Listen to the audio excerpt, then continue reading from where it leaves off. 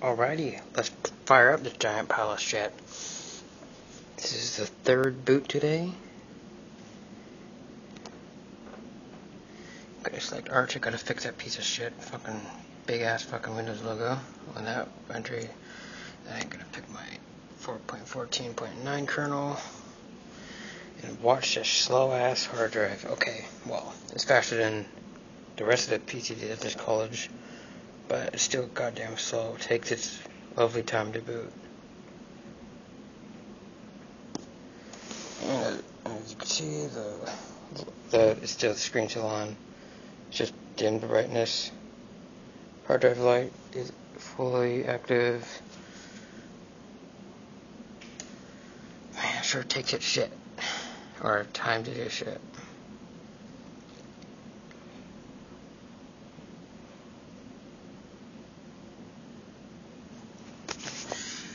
Enter my password. Push enter. Hard drive light is active yet again. Jesus Christ, why won't my piece of shit fucking focus? That's one bad thing about the about the camera on this thing. In video mode, you can't refocus. I should re I should edit the camera app, although I don't think that would actually work.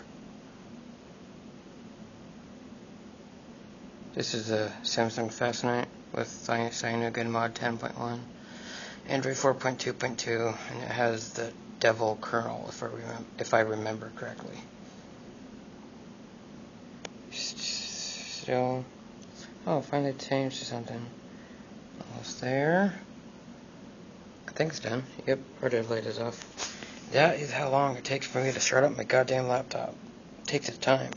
I still haven't set it, well, using the fingerprint reader and, and Linux to log in is kind of a pain in the butt because you could like can only pretty much only have one security method enabled, so you can you can only either have fingerprint or password. I haven't figured out how to like the PAM modules. I kind of configured it once to let password, but only after the fingerprint failed a certain amount of times. So yeah, out of luck on that one. The TPM, I don't know how to. Well, I don't even know what it's used for, but I don't know how to utilize it, so oh well. But yeah, that's my Mickey wallpaper. All the hotkeys work. Okay, well, except for this Wi-Fi button. I mean, the light works if I turn on Wi-Fi. If I just turn on Wi-Fi, it turns, turns green or whatever the color that is. Mute button works. Web browser works. Obviously, the drive light is solid on because it's slow. Calculator button works.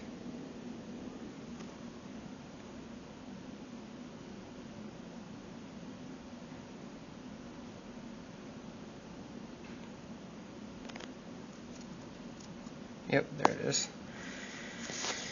And finally the web browser came open. Sleep button works, but I'm not going to do that right now, clearly. I think this is for external monitor, and obviously the volume hotkeys work. This used to work in XFCE, this battery button. showed the battery status up here. Brightness works clearly.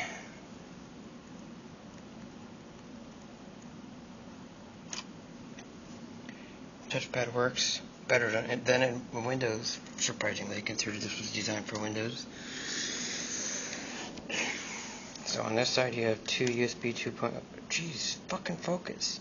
Two USB 2.0 Type A ports, some FireWire port, mini, uh, USB eSATA combo, VGA, express card, which has this filler in it.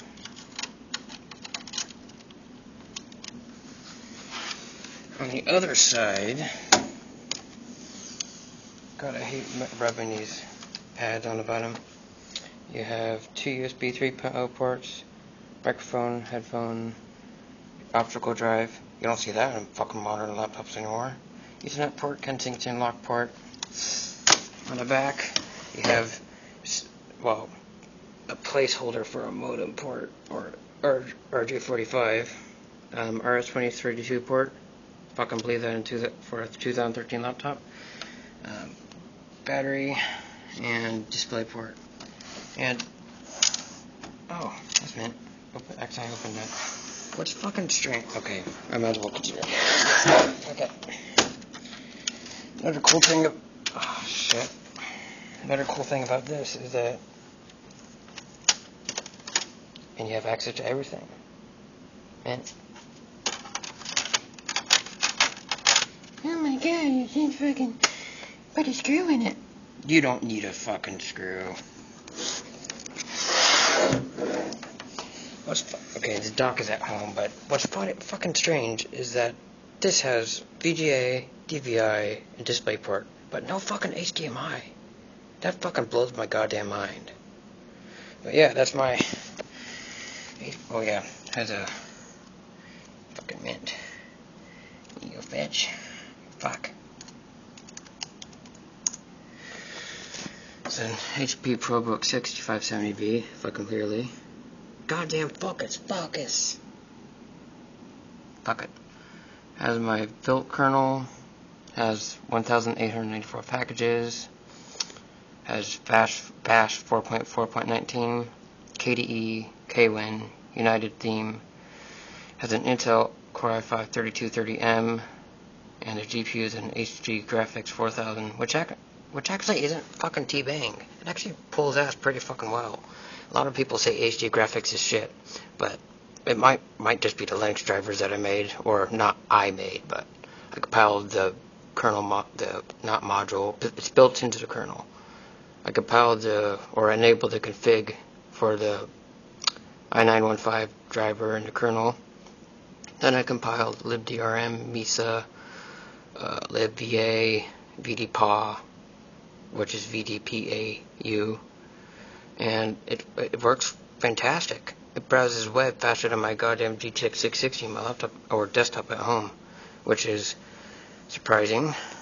But yeah, fucking pulls ass. Like it could play a lot, a lot like many games, pretty fine. I mean, obviously not the max settings, but it does actually pretty fucking well for integrated graphics.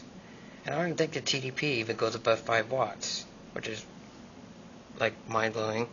Has eight gigabytes of RAM. I do have a like it has two four gigabyte sticks. I do have a 12 or an 8 gigabyte stick at home to make it 12 gigabytes, but I don't want to mix and match modules. If you catch my drift, the Wi-Fi card is fucking garbage. The the router is practically like right outside the fucking window, and it shows three. And even if I'm like if I'm far away from the access point, it still says like I have like three bars when it keeps when it barely has signal. Um, so that's fucked. Um, also, it's like just unstable as fuck. It's like things like I had to turn the Wi-Fi off and on to fix a connection. Like it hangs, it goddamn hangs.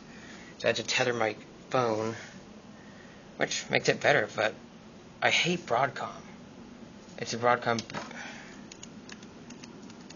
It's a Broadcom B43228 802.11 AVDN.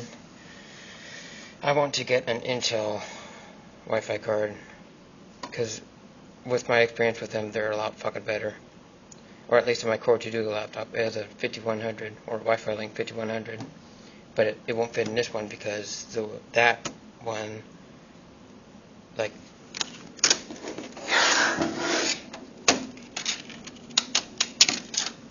This is this size. This is like a very short PCI Express card. The one in the other Core 2 Duo laptop, it it's like like about like this long. So fucking clearly it won't fit. And also I noticed like another ah, fucking focus. Jesus fucking Christ. Um but yeah, as you can see here that like the imprint for another PCI Express slot. I wonder what that was for. I don't know what this fucking connector is for. This module right here is Bluetooth. It's on a USB bus, so it plugged in there. Um, I think Southbridge is underneath this heatsink. Fuck, that's hot.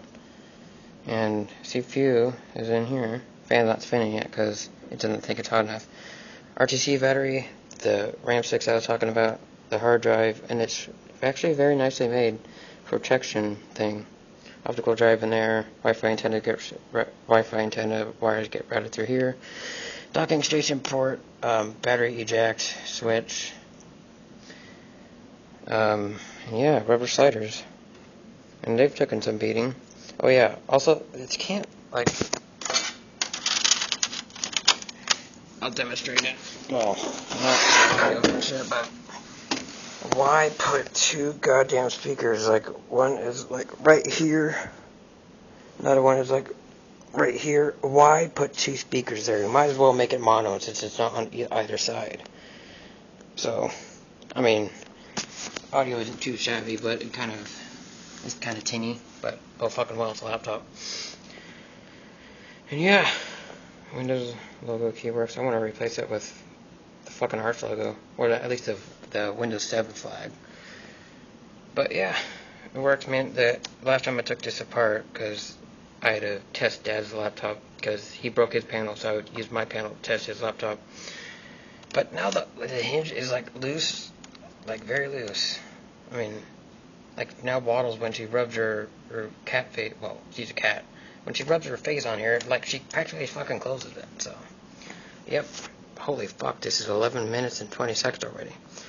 But yeah, Mint Core i5 beast of a laptop. I don't like flimsy fucking thin things. I like thick, well, not thick to the point where it's where it's hard to carry. It's not too heavy either. Obviously, I have a bag that has a nice strap on it. But yeah, Mint. Thanks for watching my video. If you like it, like. If you don't like it, thumbs down. I don't know why I'm fucking saying this.